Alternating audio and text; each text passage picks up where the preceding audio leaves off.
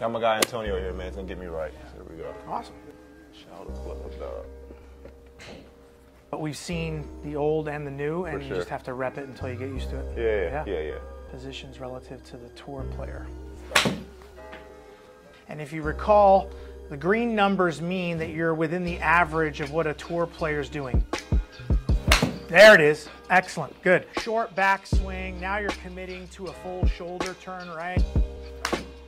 Straighter, right? So less less slice. Now that's a fade. I can play that. You take in this right shoulder, coming out and over, and even giving it a little bit to help curve this ball, golf ball to the left. What we need is our lead wrist, our left wrist. We need this in more of what we call flexion. That. See how your wrist is bowed outward now? You're coming into the ball at impact with a wrist that's like this like 50% improvement over the first shot that you tried with your full swing.